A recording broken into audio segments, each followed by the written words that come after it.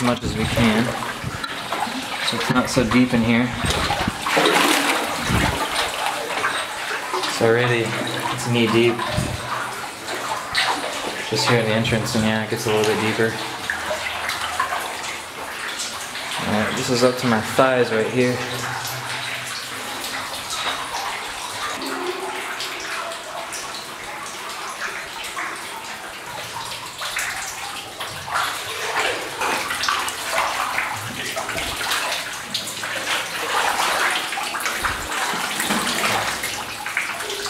So right now we are literally testing the waters to see if we can even get past the flooded portal section of this mine. have to go uh, swimming. Alright, so we are waist deep here. Uh, we're about 50 or so feet in now. We had to uh, go the distance and get soaked. So my waders are flooded. Graham went in with just jeans, hiking boots.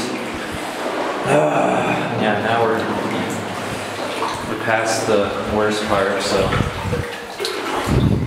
walking on the ore cart rails here. And yeah, the water is shallower, but pretty thick ore cart rails on the water here. We're about knee deep. So now my legs weigh a ton, but we got through this. Alright, so we're just around the corner. Just came from that way through the flooded part. This nice convenient platform. And workout tracks.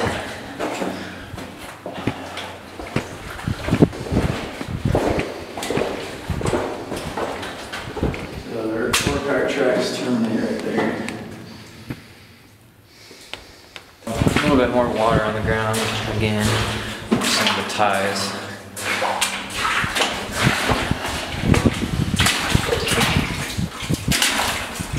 Water's picking back up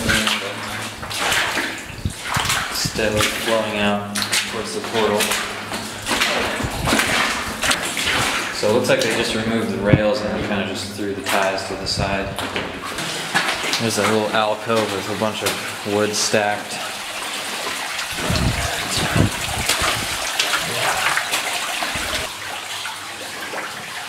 Got a raise going up that way.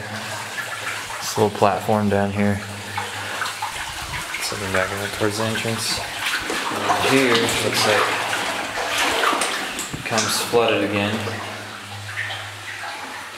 Looks like it might not be quite as deep as the first section that we had to go through. And it's starting to shallow out, so So just after the flooded part, we have this intersection here. Tunnel going off that way. or It might just be an alcove. Check it out real quick.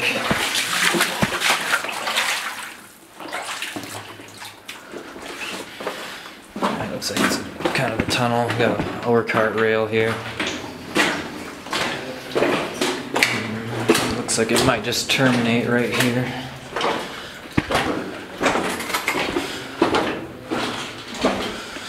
No, uh, rounds the corner, keeps going.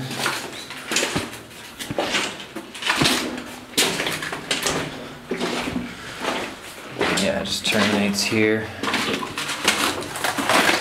So back at the intersection, this is the left tunnel. Uh, we've got some pipes here. That looks like it goes up to that raise that we saw earlier. There's a rope. And looks like the tunnel kind of continues this way. It's a little alcove. This looks like it's back towards the main tunnel the way we came in.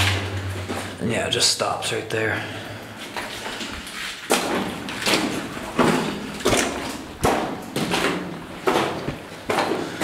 So that raise is right above us right now.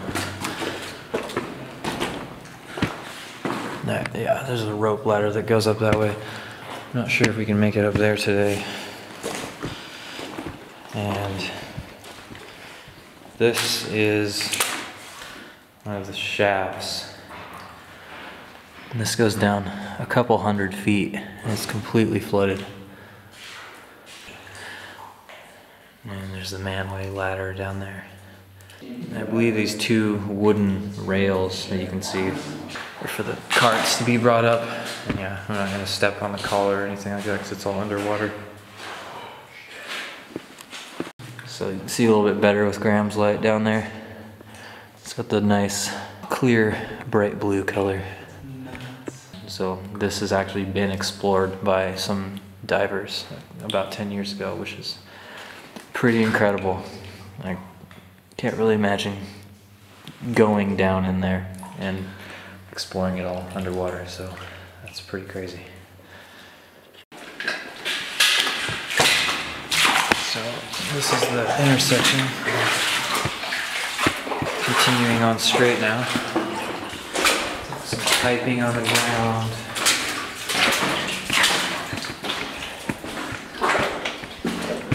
Tunnel splits off. Just a dead end, so looks like this might be the main one, so I've got the ties.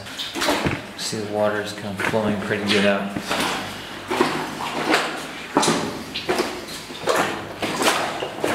Another fork here. It's just a dead end.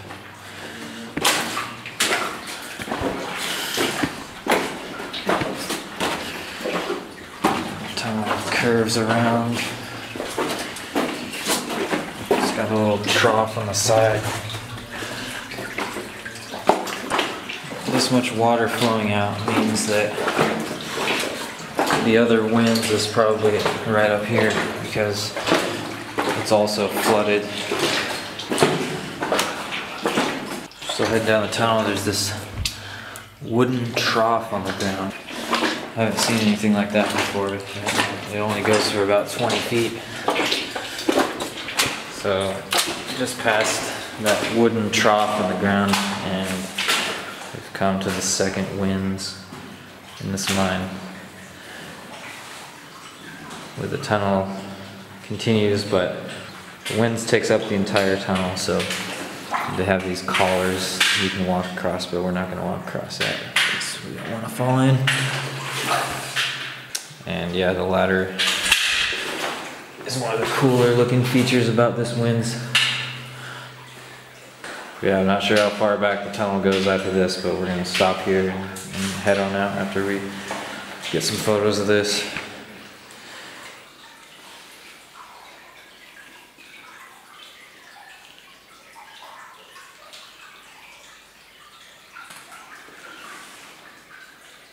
One last look at the winze before we're heading back out since we can't go any further. This